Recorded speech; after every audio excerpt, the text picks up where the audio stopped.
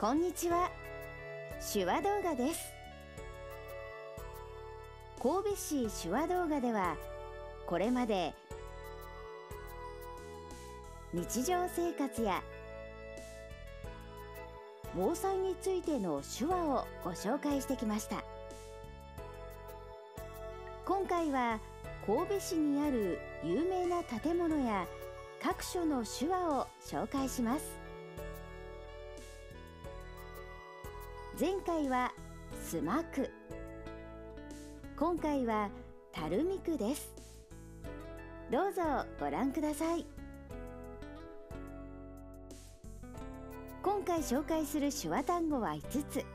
垂水区舞子公園五色塚古墳明石海峡大橋。アジュール舞子まずは手の動きだけを見てみましょう。垂水区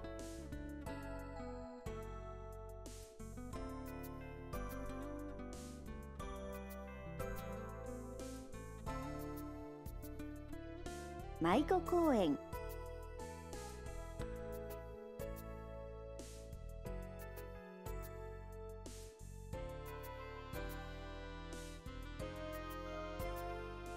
五色塚古墳。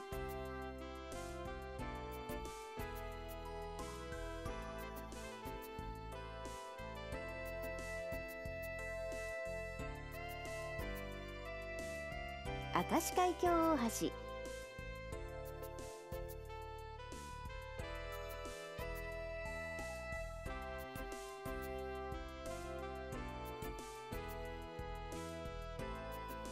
アジュール舞子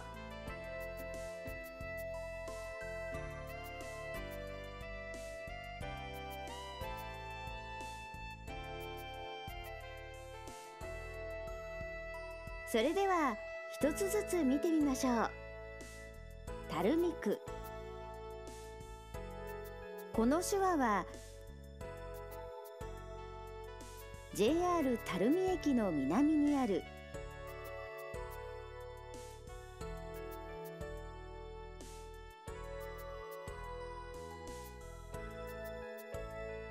渡積神社の海で垂水を表し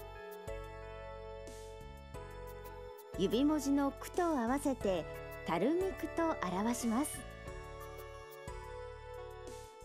垂水区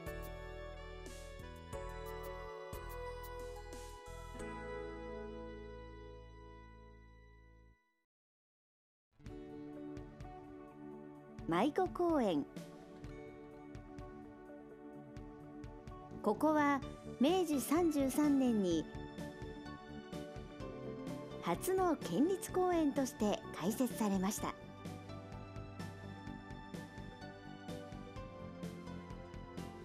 舞妓が舞う仕草で舞妓を表現し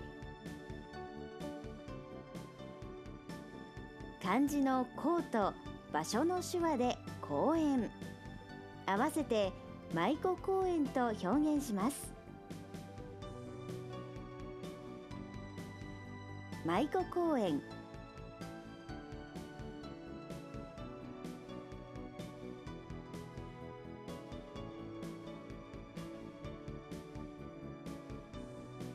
五色塚古墳。ここは兵庫県で最大規模の古墳です。手話は墳丘の上に円筒埴輪が並んでいるイメージです。左手で円筒埴輪の形を作り右手の5で下に山の形を描きます。五色塚古墳。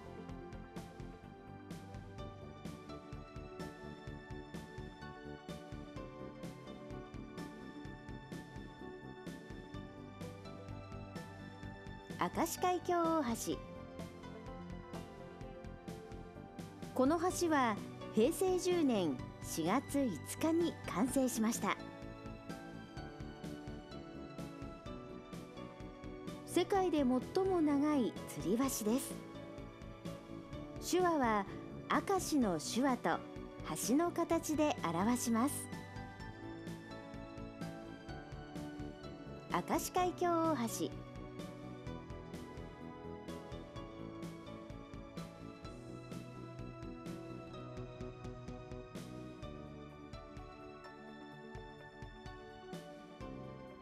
アジュール舞妓。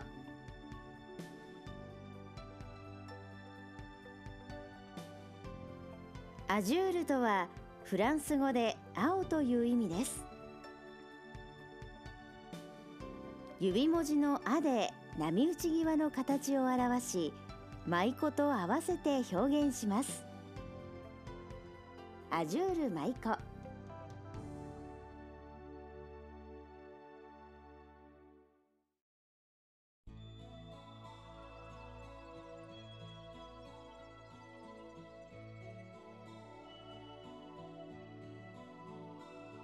今回紹介した手話を使って会話をしています。2人はどんな話をしているのでしょう？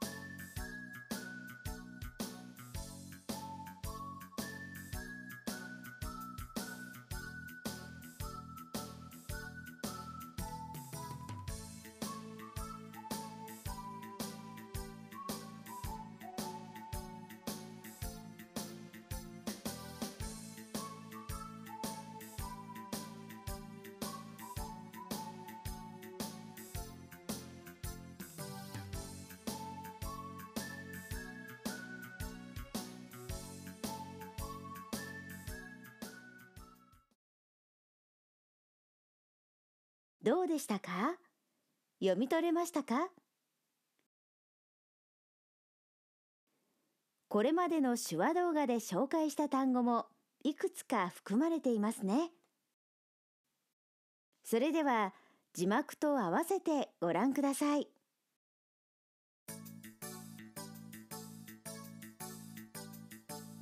垂水区は観光スポットが多いね。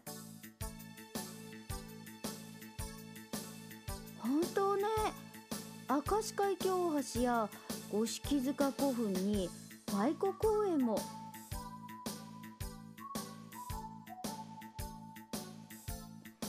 舞妓公園の夕暮れの景色は。綺麗よ。見たい。行ってみようかな。でもまだ時間があるわね。そうね。お天気もいいから先に五色塚古墳に行ってみる？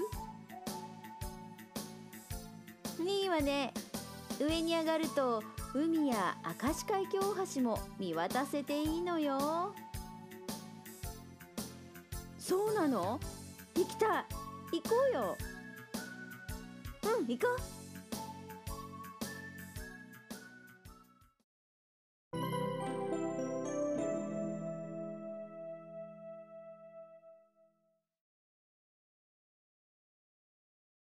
こえない人から学ぼうのコーナーです。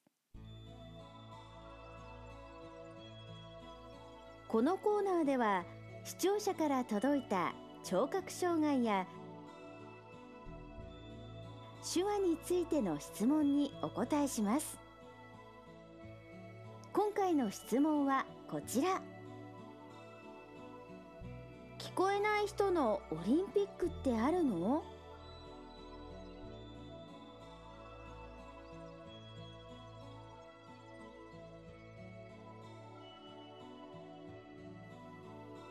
聞こえない人のオリンピックはあります。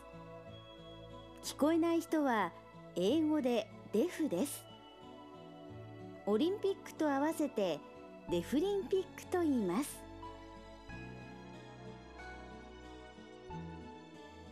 手話ではこのように表します。オリンピックと同じで4年に一度夏季と冬季大会が開かれます。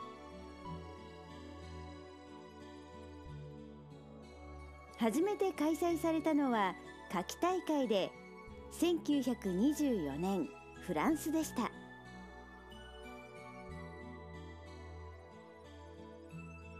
冬季大会は1949年オーストリアで開催されました。参加者は国際手話で交流します。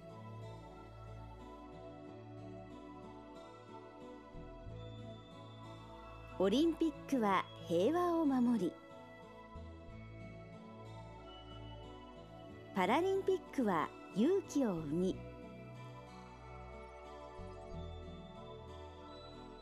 デフリンピックは夢を育むのが目的です。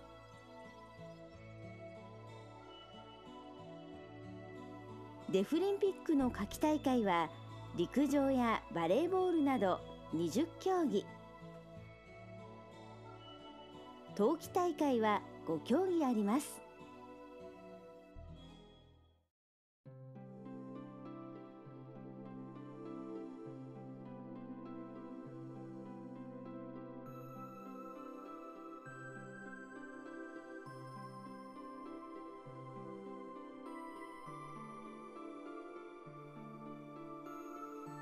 デフリンピックの試合中は補聴器を外して聞こえない状態で競技をします。聞こえない人が見てわかるような方法が取られています。例えばスタートの合図の音が聞こえないのでその代わりに旗を振ったりランプの点滅で合図をします。それ以外のルールはオリンピックと同じです。前回2017年の夏季大会はトルコで2019年の冬季大会はイタリアで開催されました。次のデフリンピック開催の時は皆さんもぜひ応援をお願いします。